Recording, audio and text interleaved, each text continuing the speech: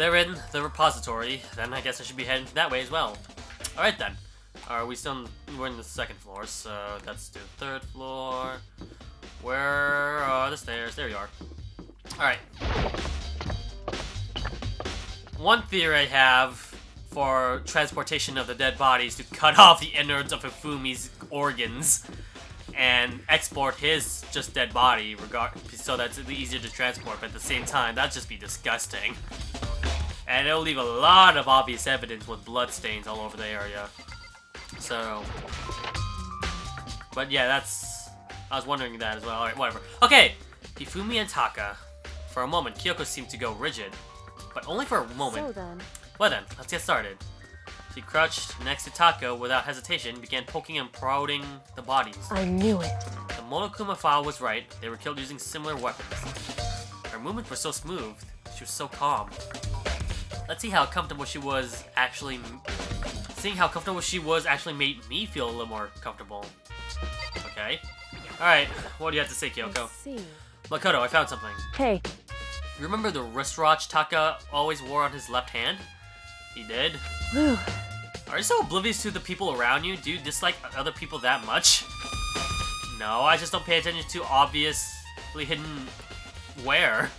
Anyway, so you said he had a watch? So then, Take a look. It's broken. You can see the hands aren't moving, right? Do you think that's the time that he was murdered? Most likely. It was most likely broke when he had to encounter with his assailant. And if you notice, the hands are frozen at just past 6 o'clock. So that would mean the watch was broken sometime just after 6? PM or AM? Still daytime, so I'm, I'm assuming AM, so that's when he was killed? that's right. But last night, Taka's watch definitely wasn't broken. How can you know? What the fuck? Hey you! How long are you gonna keep us waiting? Taka's irritated voice pierced through the air and stared pointedly at his wristwatch. It's almost 10 o'clock, you know? Bedtime's for... Okay.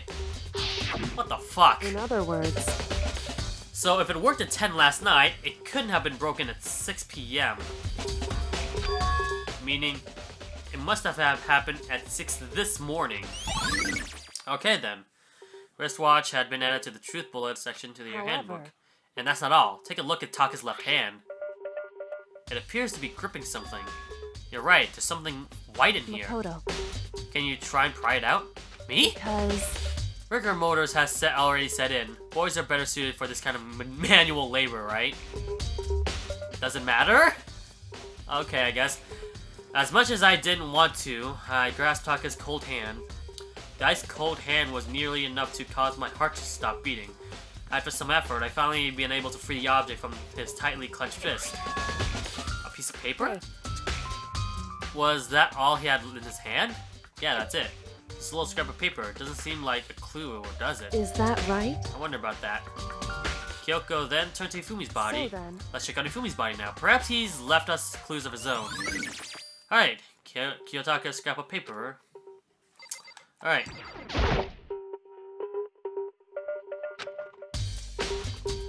Alright, that's what we're trying to figure out right now. Furthermore, it seems like Ifumi's died from a blow over the head. Was most likely killed during the Justice Hammer 3, which we found in the nurse's office, but... Found his body, and the nurse's glasses were covered in blood. But now they're spotless. Does that mean someone wiped off his glasses clean? But who would do that and why? I guess we have to talk to her or something again? So, did you find anything? I did, more than I expected to be honest. Look at this. A wad of paper? that's right. Ifumi had it hidden on him. Hidden. Indeed. He stuffed it on his pants, so I can only assume he's in there on purpose, you see. His pants? Wait, so you... Why is that? It was just his pants, not like his socks or something. That's not what we're gonna go through, but okay. I don't know what that means. Hey, It seems like Miss Kyoko here is very innocent-minded. Makoto. Um, anyways, let's take a look at the paper. Go ahead, Makoto. Go ahead, Makoto. Open it up. When I think of how it was stuffed down his pants, it's like, it better be important, Hifumi, or I'll never forgive you for this. A note. I found a hole maybe we can use to escape. Monokuma... Okay, so this is definitely the uh, note that he was talking about. I found a hole, maybe we can use it to escape. Monokuma can't find out, so don't tell anyone else for now. Let's meet up in the equipment room at 6 a.m. So, That sounds very familiar. That's it! It's the same thing Hiro said! Then, he was telling us the truth. Then again, at the same time, Hiro could have planted that note onto, uh, onto, uh, what's his face, Ifumi, so that could have been another possibility. however, Although, it's not exactly the same, is it? Uh, Um, someone slipped a weird note under my door, and that's what it said. I found a hole maybe we can use to escape. Well, Kuma can't find out, so rec room at 1 a.m. The rec room at 1 a.m. Okay, so that's actually pretty. Maybe it does have some sort of alibi, maybe not. Who the fuck knows? Time is different. Hiro told us that his note was said to meet at 1 a.m. But the note they wrote to Ifumi asked him to meet at 6 a.m. is that right? Hold on.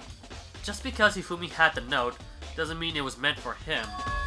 So, Part of it was been torn off, right? I think there's likely some meaning there. There's some meaning to the other part. Be- is there some meaning to the other part being ripped?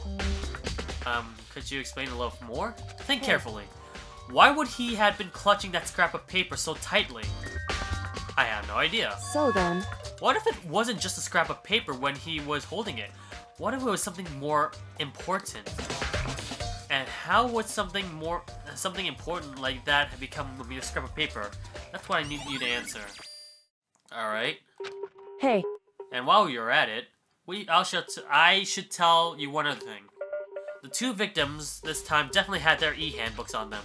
So the handbooks had nothing to do with how the murder. Okay, I was never gonna assume that in the first place, but all right. Not that that was any reason to think they were connected to the killing in the first place. Don't act like we're idiots, game. So you're saying I don't have to think about the handbooks this time, right? is that right? If you didn't have to think about them at all, I wouldn't have gone out of my way to mention it. All I said was that they weren't used to carry out the murders. There may come to a point, however, where a handbook may play a role. A handbook may play a role? I don't think I understand. If Kyoko thinks it's important, we better keep in mind. E-handbook has been added to the truth bowl, okay. Oh, is that really it? Oh, fuck me, alright. Oh boy, guys. Here we are to the next trial. Are you excited? Are you pumped? It's time for the class trial to begin! Like the bright burst of fireworks, like the flash of a soul clashing with life and death. And so, with no further ado, everyone please meet at the usual spot. Okay. Make your way to the red door on the first floor of the school. See you soon. So, the class trial is about to begin. It looks like we have all the evidence we can gather, at least. It's unfortunate, but I suppose this is where the investigation comes to an end. You have to figure out the rest of yourself and come to a proper conclusion. This is gonna be, uh, scary, without a doubt. And I'm trying to remember all the mechanics, too. I think we can also take in witness's testimony and try and contradict that with another as well. Oh my god! I really need to play this game more often, huh? Alright, yeah, you're right. Shall we go? Well, we better get going. Okay then. In the meantime, let's save our progress just in case, and we'll take a break for the next episode of Danganronpa Trigger Happy Tragic. Trigger Happy Havoc! Sorry. Oh god, this is some scary music. Alright, we'll be right back, ladies and gentlemen. Stay tuned.